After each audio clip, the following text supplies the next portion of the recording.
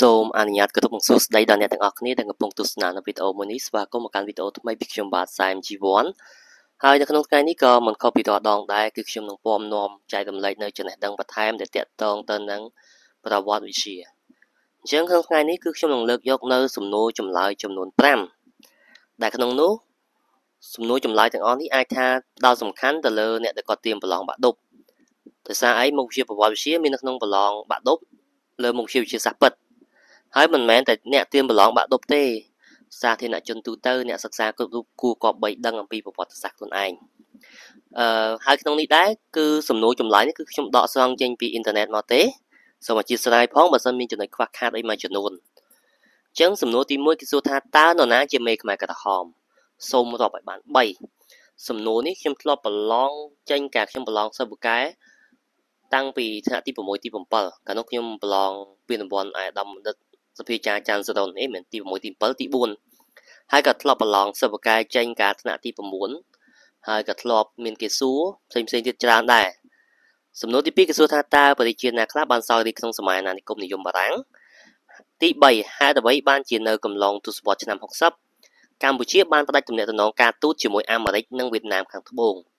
ទី4តើអាស៊ានជាអ្វីហើយតើកម្ពុជាបានទទួលផលប្រយោជន៍អ្វីខ្លះពីការចូលជាសមាជិកអាស៊ានទី5 តើព្រះបាទសម្ដេចនរោត្តមសីហនុនិងសម្ដេចហ៊ុនសែនមានតួនាទីអ្វីខ្លះក្នុងការបញ្ចប់សង្គ្រាមនៅកម្ពុជាអញ្ចឹងចូលមកកាន់ចម្លើយរបស់សំណួរទី1ដែលគេសួរថាតើនរណាជាមេខ្មែរក្រហមសូមរាប់ឲ្យបាន3អញ្ចឹងមេដឹកនាំខ្មែរក្រហមគឺប៉ុលពតស្លុតសហើយសូមរាប់បាន3យើងនិយាយខ្លីមានខៀវសំផននួនជាអៀងសេរីអៀងធីរិតកែពកញឹមរស់គឺរាប់បានច្រើននេះខ្ញុំសូមរាប់លេងលេងតែប៉ុណ្្នឹងទេ ហើយសួរថាតើបរិជាណាខ្លះបានសោយរីក្នុងសម័យអាណានិគមនិយមបារាំងអញ្ចឹងបរិជាដែលបានសោយរីក្នុងក្នុងសម័យអាណានិគមនិយមបារាំងរួមមានព្រះបាទនរោត្តមចន្លោះពីឆ្នាំ1860ដល់1904ព្រះបាទស៊ីសវត្តពីឆ្នាំ1904ដល់1927ព្រះបាទស៊ីសវត្តមុនីវង្សពីឆ្នាំ1927ដល់1941និងព្រះបាទនរោត្តមពីឆ្នាំ1841ដល់ 1000អធិស្ឋានពីឆ្នាំ1941ដល់1955អូខេអញ្ចឹងរាប់ម្ដងទៀតប្របាទនរោត្តមពីឆ្នាំ1860ដល់1904ហើយប្របាទស៊ីសវត្តពី1904ដល់1927ប្របាទស៊ីសវត្តមនីវង្សពីឆ្នាំ1927ដល់1941ដល់ប្របាទនរោត្តមអឺសេនុគឺ1941ដល់1955នេះគឺក្នុងនេះដាក់ឯកសារខនតិចគឺប្របាទនរោត្តមសេនុបានត្រូវអូខេ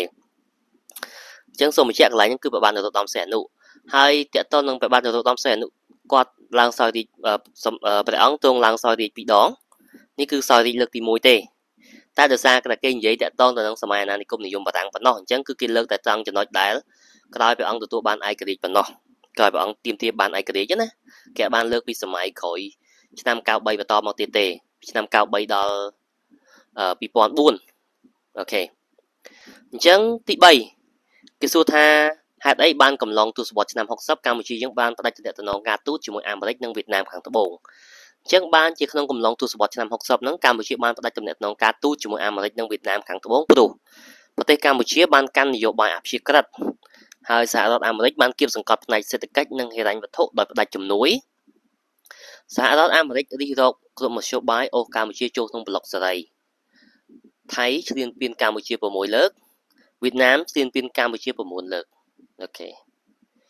ចូលដល់ចម្លើយរបស់សំណួរទី4ដែលគេសួរតាក់ទងទៅនឹងអាស៊ានសួរថាអាស៊ានហ្នឹងជាអ្វីហើយកម្ពុជាចូលជាសមាជិកអាស៊ានហ្នឹងតើទទួលបានផលប្រយោជន៍អីអញ្ចឹងជាធម្មតាទេយើងហ៊ានចូលជាសមាជិកអាស៊ានលុះតែតែយើងទទួលបានផលប្រយោជន៍ដែរបើយើងចូលទៅគ្មានប្រយោជន៍យើងក៏មិនដឹងចូលធ្វើអីដែរអញ្ចឹងតកតងទៅនឹងវិស័យការទូតគឺគេគិតទៅលើរឿងចំណេញត្រូវចាំថាតកតងទៅនឹងវិស័យការទូត បើអត់ចំណេញគេអត់ធ្វើទេចាំចំណុចហ្នឹងទៅភាសាអ្នកការទូតគឺតតែចំណេញអូខេអញ្ចឹងអាស៊ានជាសមាគមប្រជាជាតិអាស៊ីអាគ្នេយ៍ហើយកម្ពុជាទទួលបានផលប្រយោជន៍ជាច្រើនពីសមាជិកអាស៊ានដូចជាកម្ពុជាអាចធ្វើទំនាក់ទំនងពាណិជ្ជកម្មជាមួយប្រទេសជាសមាជិកក្នុងតំបន់កម្ពុជាមានឱកាសប្រកួតប្រជែងខ្ពស់ជាមួយប្រទេសក្នុងតំបន់ធ្វើឲ្យសេដ្ឋកិច្ចរីកចម្រើនកម្ពុជាទទួលបានកំណើនភ្ញៀវទេសចរ កម្ពុជាបានចូលរួមដោះស្រាយបញ្ហាផ្សេងៗជាមួយអាស៊ាន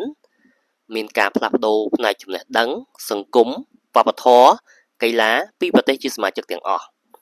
ផ្លាស់ប្ដូរគ្នាទៅវិញទៅមកផ្នែកវិស័យអប់រំវិទ្យាសាស្ត្របច្ចេកវិទ្យាព័ត៌មានថ្មីថ្មីបន្ថែមទៀតកម្ពុជាទទួលបានផលចំណេញយ៉ាងច្រើនពីការអភិវឌ្ឍវិស័យផ្សេងៗដូចជាកិច្ចការនយោបាយនិងទំនាក់ទំនងការបរទេស ទាំងអស់នេះហើយសុទ្ធតែជាសារៈប្រយោជន៍សុទ្ធតែជាប្រយោជន៍ដែលយើងទទួលបានពីការដែលយើងចូលជាសមាជិកអាស៊ានអញ្ចឹងបានខ្ញុំនិយាយថាតកតងវិស័យការទូតបើមិនចំណេញគឺគេអត់ធ្វើទេចូលដល់សំណួរទី5គេសួរថាតើព្រះបាទនរោត្តមសីហនុនិងសម្ដេចអឺអគ្គមហាសេនាបតីតេជោហ៊ុនសែនមានទួនាទីអ្វីខ្លះក្នុងការបញ្ចប់សង្គ្រាមនៅកម្ពុជាអូខេ ចឹងតកតងទៅនឹងទួនាទីគាត់ក្នុងការបញ្ចប់សង្គ្រាមនៅកម្ពុជាក្នុងនោះទី1យើងលើកយកតកតងទៅនឹងទួនាទីរបស់ព្រះបាទសម្ដេចនរោត្តមសីហនុគឺសម្ដេចតាចឹងសម្ដេចតាជាតំណាងចលនាតេភាគីតំណាងចលនាតេភាគីគឺមានចលនាតស៊ូរបស់សម្ដេចនរោត្តមសីហនុចលនាតស៊ូរបស់លោកតាស៊ិនសានសម្ដេចស៊ិនសានហើយសម្ដេចនរោត្តមសីហនុទ្រង់ជាប្រធានក្រុមប្រឹក្សាជាតិជាន់ខ្ពស់គេហៅថា ANC ណា ហើយមួយទៀតជាអ្នកផ្ដួចផ្ដើមកំណត់ឲ្យមានកិច្ចការបញ្ចប់សង្គ្រាមនៅកម្ពុជាដែលនាំមកនៅកិច្ចព្រមព្រៀង23ដុល្លារឆ្នាំ91ដើម្បីបញ្ចប់សង្គ្រាមនិងជាបិតាផ្សះផ្សាជាតិបង្រួបបង្រួមជាតិជាក់ស្ដែងក្រោយការបោះឆ្នោតឆ្នាំ93ប្រទេសកម្ពុជាយើងគឺមានវិបត្តិនយោបាយដោយសារបែងចែកអំណាចហ្នឹងគឺគណៈបកមានដល់ទៅ2ដែលឈ្នះឆ្នោតទីគឺគណៈបកហ៊ុនស៊ិនប៉ិចនិងគណៈបកប្រជាជនកម្ពុជាសម័យនោះគឺមាននាយករដ្ឋមន្ត្រី2គឺមាន អឺសម្ដេចកឹមព្រះនិងសម្ដេចហ៊ុនសែនហើយនៅពេលនោះសម្ដេចនរោត្តមសីហនុបានរិះរកមធ្យោបាយមួយគឺបង្កើតគណៈរដ្ឋមន្ត្រីពីររូបដែលធ្វើឲ្យកម្ពុជាទទួលបានសុខសន្តិភាព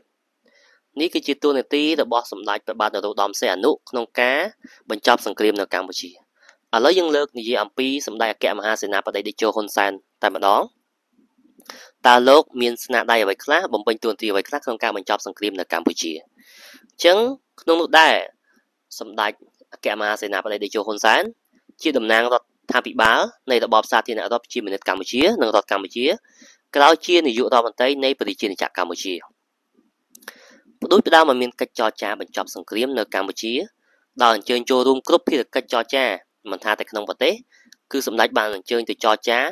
នៅក្រៅប្រទេសដទៃទៀតដូចជាប្រទេសហ្សាកាតា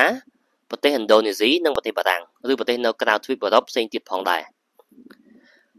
សម្ដេចក៏បានចូលរួមកិច្ចចរចាសន្តិភាព23ដុល្លារឆ្នាំ91ដែលនាំឲ្យប្រទេសកម្ពុជាឈានទៅដល់ការបោះឆ្នោតឆ្នាំ93សម្ដេចបានផ្ដល់កិច្ចការពារសន្តិសុខសម្រាប់ធ្នាប់ដើម្បីឲ្យមានការបោះឆ្នោតមួយនៅកម្ពុជា ជាពិសេសនៅឆ្នាំ93សម្ដេចបានព្រមព្រៀងធ្វើសមាហរណកម្មដើម្បីបញ្ចប់វិបត្តិនយោបាយនៅកម្ពុជាដែលកំទេចអង្គការចាត់តាំងនយោបាយនិងយោធារបស់ខ្មែរក្រហមនៅក្នុងឆ្នាំ1998 អូខេអ្វីដែលខ្ញុំរៀបរាប់មុននេះសុទ្ធតែជាចម្លើយនៃសំណួរដែលខ្ញុំចោទជាសំណួរមកមាន5សំណួរនោះឯងអញ្ចឹងបើសិនជាមានចំណុចខុសឆ្គងត្រង់ប្រការណាមួយសូមមេត្តាយោគយល់អធិស្ឋានបណ្ដៃដល់រូបខ្ញុំបាទផងដោយសារតែខ្ញុំបញ្ជាក់អញ្ចឹងគឺធ្វើនេះដើម្បីគ្រាន់ជាការចែករំលែកចំណេះដឹងប៉ុណ្ណោះបើសិនបើមានការខុសទាស់លើសលួសខ្វះខាតតាមប្រការណាមួយសូមមេត្តាយោគយល់អធិស្ឋានត្បិតរូបខ្ញុំអីគឺធ្វើវីដេអូនេះឡើងគឺមិនមែនសម្លឹងមើលផលប្រយោជន៍ឬបានលុយពីការធ្វើ YouTube ឡើយគ្រាន់ជាការចែករំលែកចំណេះដឹងប៉ុណ្ណោះ អូខេជាងវីដេអូមួយគឺសូមបញ្ចប់ត្រឹមតែប៉ុណ្ណេះសូមអរគុណសូមជម្រាបលាជួបគ្នានៅឱកាសក្រោយបន្តទៀតសូមអរគុណ